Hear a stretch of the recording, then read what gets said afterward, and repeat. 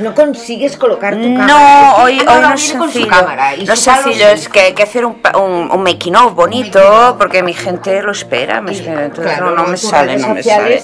do- ¿luego Claro. ¿Dónde lo vemos? Oye, Eh, lo pues es que lo- no lo- bueno pues en, en libros por un tubo en el Ah. canal eh. Bueno, que vienes con libros, claro. Hombre, sí, sí, sí, eh, sí, solo no, no, no, que lo cortés no quita lo valiente. A ver, Vale. hoy te traigo un libro que me ha gustado mucho bien. porque es una historia delicada, es una historia hermosa, muy bien contada, muy bien escrita y que además eh, se sale bastante de lo común. Es una historia de amor que no parece que la haya escrito una mujer de por aquí, eh, española, quiero decir, parece escrita por una americana o incluso por una inglesa. De hecho, son ingleses sus protagonistas. La pareja, o mejor dicho, expareja formada por John y Geraldine, profesor de física jubilado él, doctora ella, que llevan como 30 años divorciados sin apenas contacto y tampoco con su única hija, Kimberly Kim, de la que solo sabemos que era un tanto rebelducha, un tanto así hecha que acabó yéndose a vivir a España, concretamente a Alicante. Allá aparece un buen día su cadáver al sol.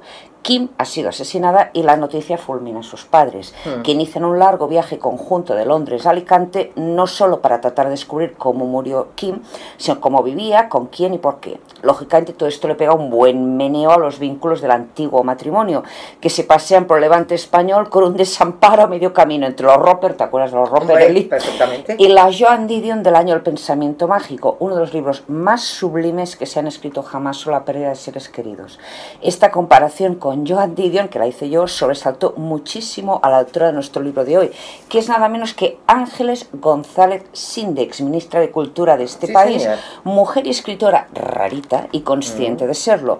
No hay muchas personas, insisto, en nuestro país, en nuestra lengua y nuestra cultura que escriban sobre el amor como escribe. Pues la verdad es que me interesa, me, me- vamos, te agradezco mucho este análisis porque es algo de lo que yo no era consciente para nada, pero que es verdad que quizá en mi eh, concepción del mundo es así. Las, relaciones padre-hijo o madre-hija eh, eh, se extienden a lo largo de toda tu vida, incluso aunque dejes de hablar con esa persona, como es el caso de los personajes de la novela, ese vínculo está ahí, ¿no? Eso es indeleble.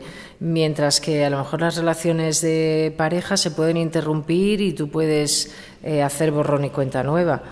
Esta novela lo que trata es de explorar qué pasa cuando muchos años después de que un matrimonio se haya separado, si queda algo de aquello, no en el sentido amoroso, sino en el sentido humano, ¿no?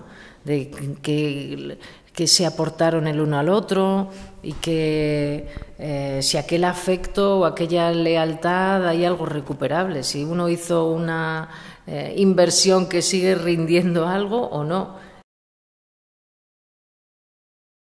Todo el mundo sabe que Ángeles González Sinde es una mujer cargada de ausencias, que ha perdido a muchos seres muy queridos. Su novela, que se titula Después de Kim, no es autobiográfica en un sentido estricto, pero sí está preñada de esa sabiduría emocional que solo asiste a los muy golpeados.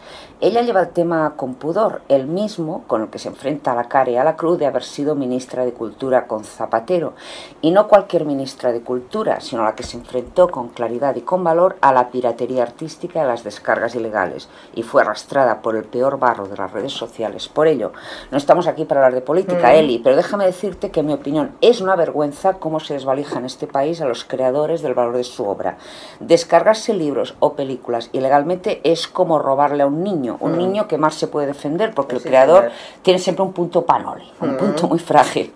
A Ángeles González Sinde no le gusta mucho rodearse en estas cosas, pero sí admite que volver de la política al mundo real, por llamarlo de alguna manera, sí. fue un proceso doloroso para ella. Cuando vuelves a tu actividad normal después de haber estado en un cargo político con tanta visibilidad, es difícil porque, eh, en fin, es como si tú tuvieras un negocio, has, eh, a tus clientes los dejaste porque te cerraste el negocio y luego recuperarlos es muy difícil. Aparte la idea o la imagen que tiene la gente de ti, pues ha cambiado, ¿no? Se ha trastocado. Joder, si se ha trastocado. El Sinde se gana muy dignamente la vida, ¿eh? que Sí. nadie se piense que la hemos entrevistado debajo de un puente o durmiendo entre cartones.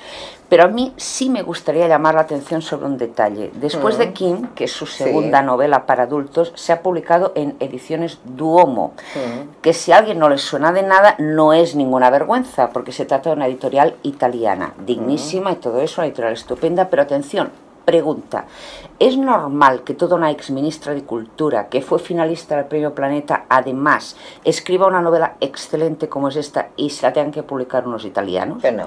¿Qué pasa con la industria editorial de este país? Y ahí lo dejo para que esta sección de libros no se convierta en otra cosa y sobre todo para entrar al mejor momento del día, la lectura de los microrelatos que opta nuestro concurso. No te quejarás, Eli, Ajá. que cada vez llegan más textos y más mejores. A Pues este sí, paso señor. habrá que pedir refuerzos. Que tenemos la gran final ya a la para vuelta de la desempatar. esquina, ¿eh? Claro que sí. Vamos